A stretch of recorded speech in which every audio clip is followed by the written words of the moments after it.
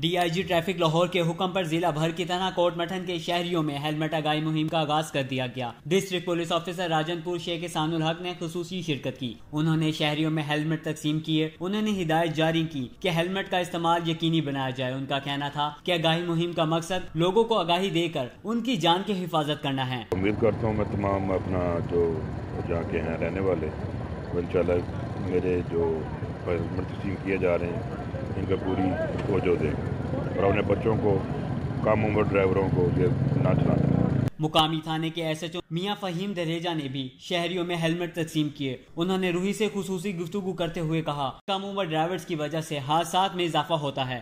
Accident کی صورت میں سب سے پہلے چوٹ جو موٹر سائیکل پہ لگتی ہے وہ سر پہ لگتی ہے۔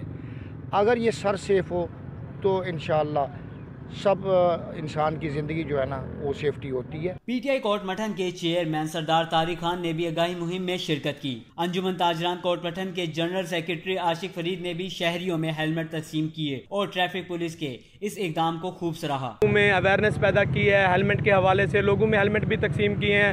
اس کو انجمن تاجران فل فل طریقے سے سپورٹ کرتی ہے اور اس اقدام کو بڑا سراتی ہے۔ اس موقع پر circle incharge Kot Mithan Hassan Farid, Muhammad Zafar senior traffic assistant Muhammad Rashid, Ayaz Ahmed, Jam Ashiq, Taj Muhammad Khan advocate بھی موجود تھے۔ کیمرہ ٹیم کے ہمراہ مجاہد گوری، روحی کوٹ مٹھن۔